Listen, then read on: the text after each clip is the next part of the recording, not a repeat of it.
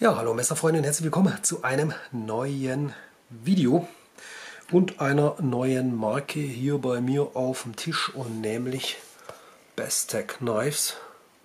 Habe ja Ritchie getroffen, der hat mir mal ein paar von den Modellen ausgeliehen. In der Schachtel kommt dieses Teil. Bestech Knives Professional Manufacture, also hier die chinesischen Firmen, die hier Professional Manufacture sind und äh, Titan Framelock Folder mit S35VN rausballern, die sprießen wie Pilze aus dem Boden. Ich komme da schon gar nicht mehr nach, mich da mit allen zu beschäftigen, aber wenn man natürlich so mal die Möglichkeit hat, etwas genauer anzuschauen, dann äh, komme ich sowas ja natürlich gerne nach. Hier haben wir das neue Modell BT1706B.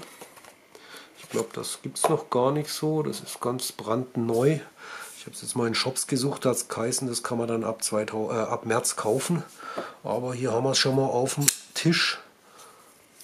Sieht auf jeden Fall schon mal rasant aus, das Modell Predator. Haben sie auch fett auf die Klinge geschrieben, das wird dem Stefan bestimmt nicht gefallen, dass das hier so mördermäßig fett draufsteht.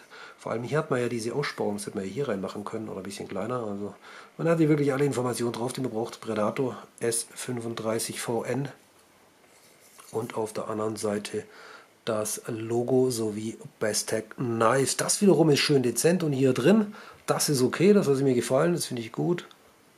Aber warum sie hier das Predator in so riesig fetten Lettern da draufballern, hätten wir auch schön klein hier reinmachen können oder einfach weglassen. Aber sei es drum. Ja, Titan Framelock Folder. Ah genau, das wegmachen. Kommt noch in dieser äh, sehr guten Nylon Pouch mit Mikrofasertuch, da kann man zwei Messer reinpacken. Ja, ist immer okay. Kann man in der Preisklasse mit dazulegen, womit man dann schon beim Preis wären. Ich habe es jetzt in einem Shop gesehen, wie man es dann kaufen kann, dann mal ab März. Und da wird es gelistet im Moment für 212 Euro. Ja, das ist es halt inzwischen für die ganzen Titan Framelock Folder mit S35VN, wenn es nicht die absoluten äh, No-Name-Dumping-Modelle sind, äh, die man dann günstiger kriegt, ist es so ein bisschen äh, fängt es jetzt eben halt so an. Ne? 200 Euro muss man inzwischen immer für hinblättern für einen Titan Framelock S35VN Made in China Folder. Und das ist, also mir wäre sowas eigentlich dann schon zu viel. Vor allem in der Masse, wie die Marken und die Folder gerade auf die rausgepresst werden, das ist ja inflationär und genauso werden sich auf jeden Fall auch die Preise von den Messern später im Gebrauchtmarkt verhalten. Also wer solche Dinger cool findet, einfach ein bisschen warten. In einem halben Jahr kriegt ihr die wahrscheinlich im Gebrauchtmarkt nachgeschmissen für einen Huni oder so. Aber Verarbeitung von dem Ding ist wirklich top. Wir haben ja wunderschönes Carbon drin, was mir gefallen hat.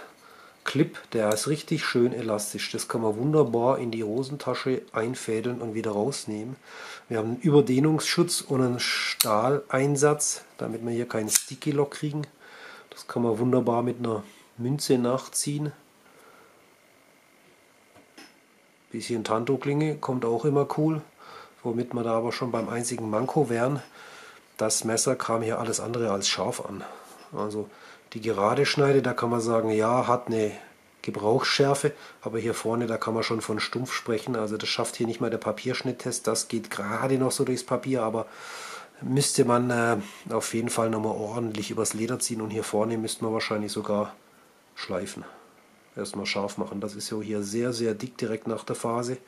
Gut, das ist auf robust ausgelegt, das ist für Penetration und seitliche Bewegung vorne mit einer extrem robusten Spitze.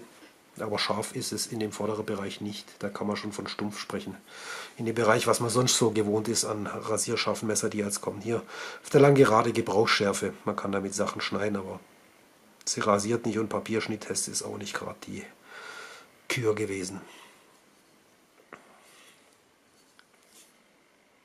Ich meine, gut aussehen tun die Dinger ja. Kugellager. Die Dinger laufen wie so. Klingen sitzen, sitzen absolut mittig. Hier haben wir noch drauf, das ist First Production ran, das Modell. Und wir haben hier das Modell 96 von 130. Also brandneu. Schauen wir mal, was die Jungs hier verbastelt haben. Eine Klingenstärke von ja, so 3,8 mm.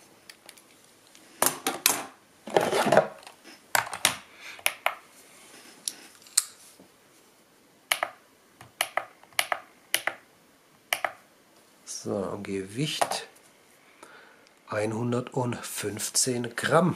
Ja, das ist prima.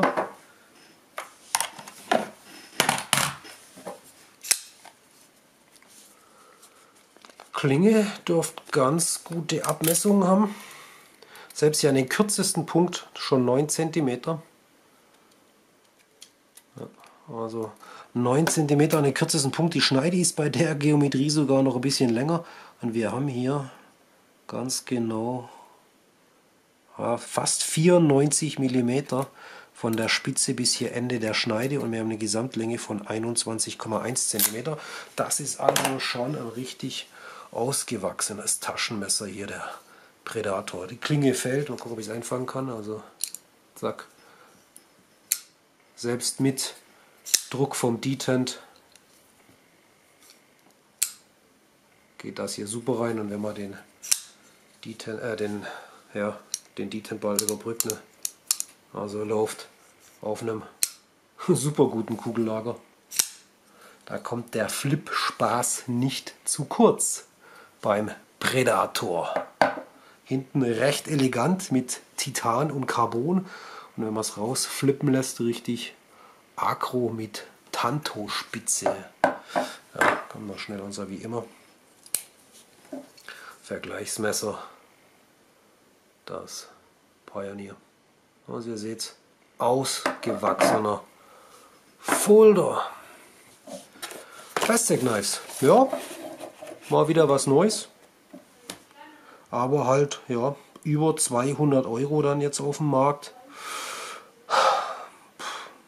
Nicht ohne, muss so jeder selber ein bisschen für sich wissen. Aber sowas, ich sag jetzt mal Anführungszeichen auf, No-Name, Anführungszeichen zu, äh, Marke kauft, ne, weil, pff, ja, bestig. Wann kam die raus? Letztes Jahr. Naja. Schön versenkt hier kann man dann ja durchziehen. Ja, Verarbeitung ist top. Ich meine, diese ganzen Titan Framelock Folder, die jetzt auf den Markt kommen, da inzwischen haben sie ihre Maschinen super im Griff, da kann man nicht mehr meckern. Aber Reputation haben die Firmen und Marken halt leider noch nichts. Ich sag mal so als einziger da Reate Knives und David Deng, der so ein bisschen die, Anlege, äh, die, die Anfänge für dieses Ganze gelegt hat ja, da würde ich schon sagen, das ist einer der großen, der bekannten, wo auch amerikanische Designer und Messermacher zu ihm gehen und dort Messer produzieren lassen. WeTech oder ne, WeNice hieß es ja, die haben ja rausgeballert, war ja letztes Jahr am Stand auf der IBA, die hatten ja Schränkeweis-Modelle, da verlierst du langsam den Überblick, also wirklich inflationäres Auftreten dieser Markenmodelle und Messer. Da kommt man gar nicht mehr nach mit vorstellen. Ja, es wird noch ein zweites Video geben mit einem weiteren Titan Framelock Folder und dann haben wir noch äh, den Budget Folder, je nachdem wie die Videos kommen in irgendeiner Reihenfolge. Aber der Budget Folder, den, den fand ich richtig cool. Okay, das war's mal hier mit dem neuen Predator von Bestech Knives. Sieht cool aus, dürfte noch ein bisschen schärfer sein und jo, Preis sage ich mal einfach zu hoch. 150 Euro würden es auch tun. 212. Äh, steht nicht auf meiner Einkaufsliste. Okay, Freunde. Danke fürs Reinsehen, bewerten, kommentieren. Ciao, bis zum nächsten Mal. Euer LBD und immer schön Gier einpacken.